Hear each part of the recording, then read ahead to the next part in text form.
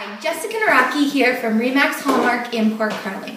I'm here with Jacqui Semkow, TD Mortgage Specialist in Muskoka. Hi, Jacqui. Thank you for taking the time to sit with me today.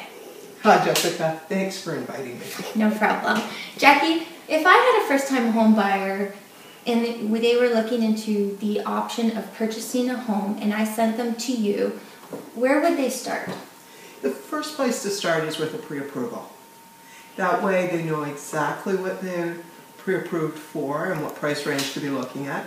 Also, it gives them additional time to save more money for the down payment if they need, or also to sort out any um, issues with their credit bureau before they've made an offer and they've got a five-day limit. So if they were to sit down with you for the pre-approval process, what would they require to have available to show you? First thing we need to do is we need to confirm their income. Okay. So recent pay stubs, their notice of assessment from Canada Revenue for the last two years to show what they've earned in the past, okay. letter from their employer. We also need to confirm their down payment. So any investment statements, if they're taking money out of their RSP, where that money is and how much they've got, um, any mutual fund statements, bank account statements, what are the financing options for a first-time home buyer?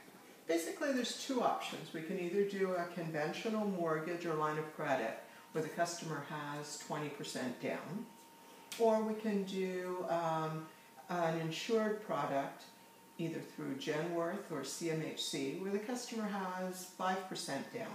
Okay, let's talk about a conventional mortgage. So they would require 20% down. Mm-hmm. Are there any other criteria that the bank are looking for? Yeah. The property criteria can sometimes be a little bit more stringent with a conventional mortgage.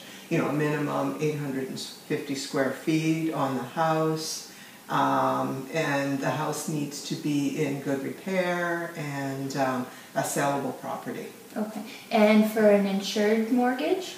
CMHC actually doesn't have minimum square footages. They will also insure a property that has insul brick siding and um, you know, a little bit of a fixer-upper. They have um, a purchase plus improvement program where you can borrow 10% of the improved value of the house to do renovation. Okay. It's important that the home, the buyer understand they don't get that money up front. Okay, so the, the money will be there to pay for the improvements, but the improvements need to be made first. And there are they have homework that they do need to do prior to that, correct? Yes. They need to have estimates for the improvement. So if they want to put new shingles on, they should get an estimate ahead of time so we can add the cost of that to the value of the house. Okay, Jacqui, let's talk about a high ratio mortgage and the fees associated with that.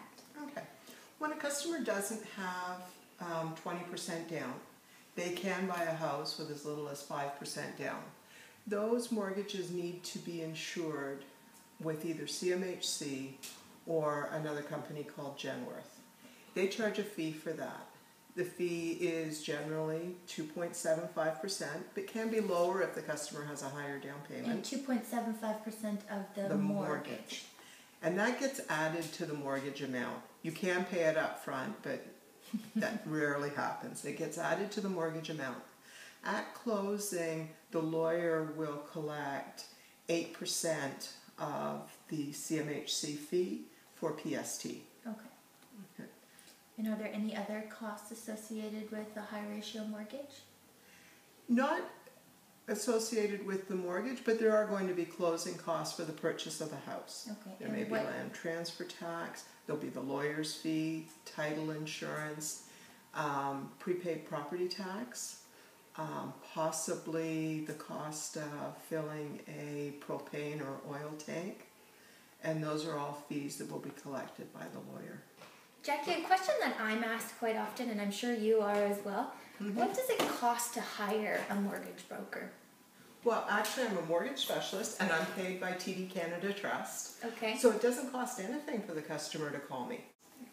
And Jacqui, why should our clients use a TD Mobile mortgage specialist? Mortgages and lines of credit are all I do. All I do is work with homeowners and home buyers. And again, I don't have um, just a one hour time slot for them. I can talk them through the entire process. I'm always handy when they need me. I work after hours, so if somebody needs to see me on Sunday afternoon, I'm often available. Or, you know, Wednesday night at 7 or you know, if there's a lot to cover, I can take the time to show them all their options and answer all their questions so that they know what they're doing and they're not nervous about the process. Great, Jacqui. Thank you very much for You're taking the time to meet with me today. Thank you. Thank you.